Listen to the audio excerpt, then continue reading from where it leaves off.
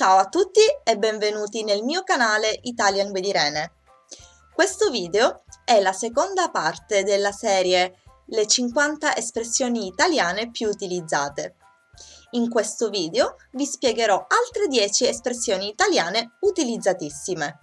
Ma prima di tutto voglio ringraziarvi per tutti i complimenti che mi avete fatto per il primo video e inoltre cercherò di seguire i vostri suggerimenti e di parlare più lentamente. Non dimenticatevi di iscrivervi al mio canale e di cliccare sulla campanella per ricevere le notifiche. E allora, pronti? Partenza? Via!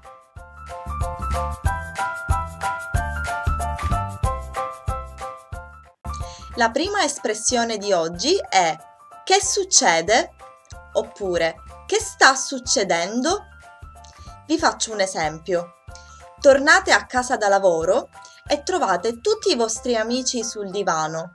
A quel punto siete sorpresi, quindi esclamate Che sta succedendo qui? Oppure Che succede? Che succede? Che sta succedendo? Se non siete sicuri di avere capito ciò che vi è appena stato detto, potete chiedere Ho capito bene? Ho capito bene? Did I get it right? Se invece non avete capito l'ultima parola o l'ultima frase che vi è stata detta, potete dire Puoi ripetere l'ultima parola? Oppure Puoi ripetere l'ultima frase? Questa espressione è un po' difficile da spiegare, ma ci provo lo stesso.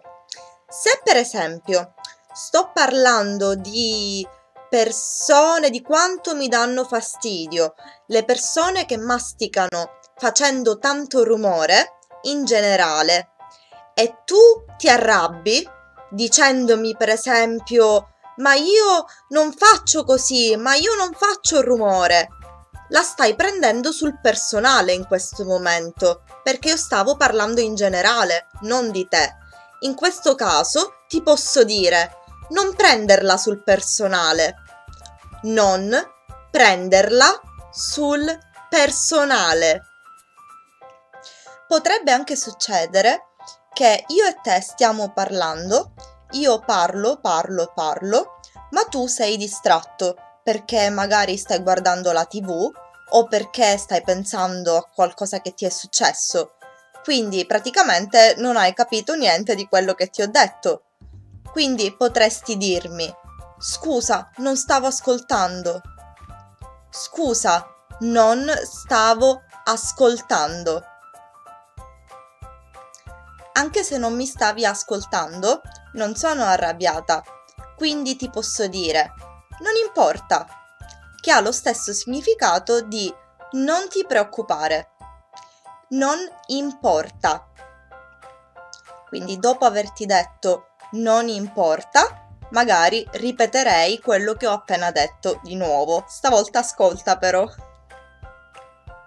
Se vuoi augurare buona fortuna a qualcuno che ti ha appena detto che spera che qualcosa di bello accada, puoi dire incrociamo le dita, incrociando le dita così, incrociamo le dita.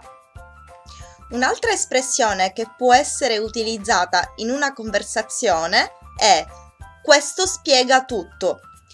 Ti faccio un esempio. Se stiamo parlando di una situazione che è successa e mi racconti un dettaglio che io non sapevo ma che è veramente importante per questa situazione e che mi, me la fa capire meglio, posso dire, ah, questo spiega tutto.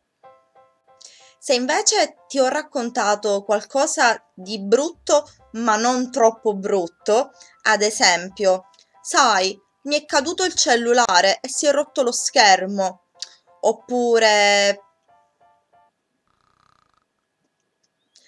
Sai, ho perso 10 euro. Sono cose brutte, ma non troppo. Allora mi puoi dire, eh, succede. Succede. Per indicare che sono cose che succedono e non posso farci niente. L'ultima espressione è da utilizzare quando non conoscete il nome di una persona e volete attirare la sua attenzione. L'espressione è scusi se la disturbo. Scusi se la disturbo. Per esempio, scusi se la disturbo. Saprebbe dirmi che ore sono? Spero che questa seconda parte del video vi sia piaciuta e vi sia stata utile per imparare nuove espressioni.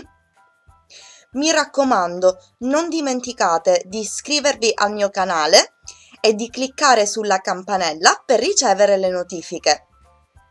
Potete trovare qui sopra la prima parte del video e noi ci vediamo presto. Ciao!